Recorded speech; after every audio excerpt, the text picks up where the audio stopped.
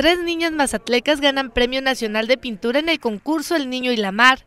Se trata de las niñas Blanca Estela Reyes Rodríguez, Alicia Fernanda Vargas Carrillo y Evelyn Elizabeth Cruz Quintana, quienes fueron anunciadas como las ganadoras nacionales del concurso El Niño y la Mar, y a quienes la presidenta del sistema DIF Mazatlán, Silvia Treviño de Felton, junto a la dama voluntaria de la Marina Armada de México, Edith Vigueras de Berrospe, hicieron entrega de reconocimientos especiales y un regalo que consistió en una tablet a cada una de las ganadoras.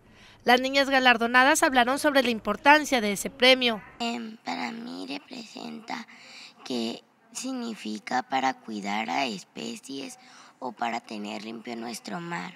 Para alegrar a mi papá, a mi familia, porque para que él que entienda que yo compruebo, compruebo muy bien lo del mar y sus animales, que los respeto, la playa y todo.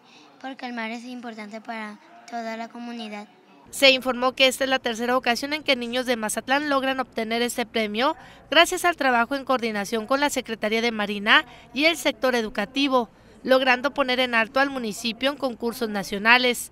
Este año participaron 2.000 niños y niñas, pero solo 1.900 lograron entrar al concurso, donde estos pequeños mostraron su creatividad y talento, pero sobre todo su amor por el mar se dio a conocer. Las niñas dijeron que a través de sus obras pictóricas buscan enviar un mensaje a la sociedad para que se cuide el mar.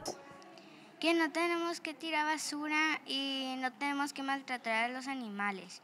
Hay que respetar nuestro mar que, que, que está aquí, el mar y sus criaturas marinas. Para que ya no se acaben estas especies y para que sigan viviendo todos los animales porque si no lo cuidan ya no van a tener animales para que los cuiden.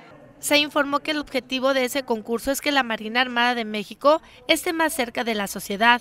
Se informó que las pequeñas ganadoras como parte de su premiación viajarán a la Ciudad de México y posteriormente al estado de Veracruz para conocer la heroica Escuela Naval. El primer lugar lo obtuvo la niña Blanca Estela Reyes Rodríguez, el segundo lugar Alicia Fernanda Vargas Carrillo y el tercer lugar Evelyn Elizabeth Cruz Quintana.